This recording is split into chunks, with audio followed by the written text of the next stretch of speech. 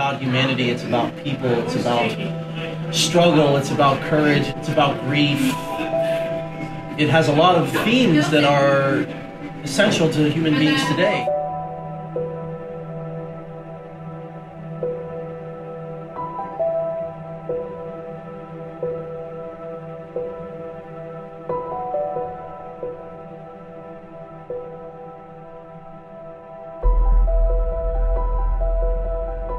We both love Shakespeare so much. We're both really inspired by Shakespeare, and um, Hamlet is one of our favorite plays. They're both very challenging roles, and we thought our senior year we wanted to really test ourselves against something really difficult. And um, it's certainly been a, a challenging but really rewarding process too. You want to be. That is the question. Whether it is nobler in mind to suffer the slings and arrows of outrageous fortune. So to play these like two very sought after roles and get to do Shakespeare together is something that like I think is a dream, honestly. This is what we wanted and we fought for it. So it's cool that we actually get to do it. This is a period piece.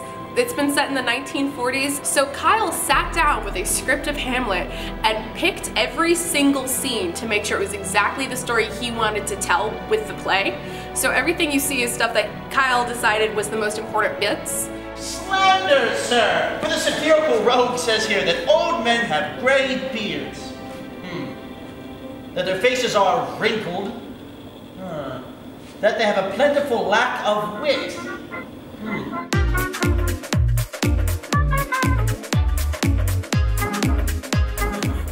We broke a sewing machine. Then we had to find a new sewing machine, but that sewing machine was missing like three crucial pieces. It sort of works, so that's what we ended up using. Because we were testing uh, fake blood and got it everywhere, all over all of our white costume pieces, and had to wash all of that out, only to find out we didn't have any soap. As soon as we get the clothes washed, we put them in the dryer. Dryer barrels rusted out and gets rust everywhere, so I had to wash everything again. And then I had to hang it outside and hope it wouldn't rain.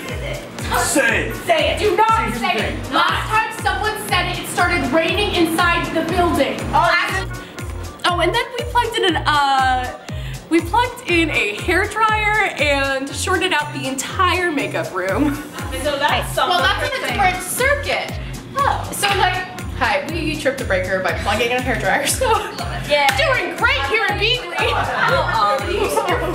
I'm, I'm not stopping. I'm gonna continue I'm not. Uh, typically, yeah, we like to have lights on in general. You don't need it. Both for like seeing and like You don't. dramatic effect, and like usually that's good, but we can do an all dark production. It could be a thing.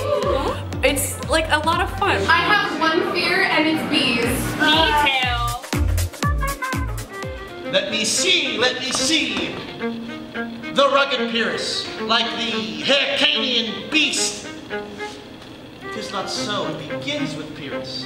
Right, we're in control now. I think the production. I think we had a lot of really fantastic people on the project. It wasn't. It wasn't just myself or Emily. We had a lot of really dedicated people, a lot of really dedicated actors, uh, a supportive faculty as well. Both our mentor, Lester, uh, really worked with us for a long time before the show, and uh, he's been instrumental in making this come alive for us. The professors really do care and they do give you the opportunity to do things such as Hamlet and like whatever you really want. You could essentially go up to whoever your professor is, your advisor, and say, I really think this idea is cool. Is there a way we could do it? And nine times out of ten, I think they're gonna say yes. And I think that's what really like sets us apart. And we're able to like explore these different avenues because of that. Start from their spheres. But this eternal blazing must not be to ears of flesh and blood. List! List! Oh, list! with a lot of Shakespeare, it like really gets down to the core of human emotions.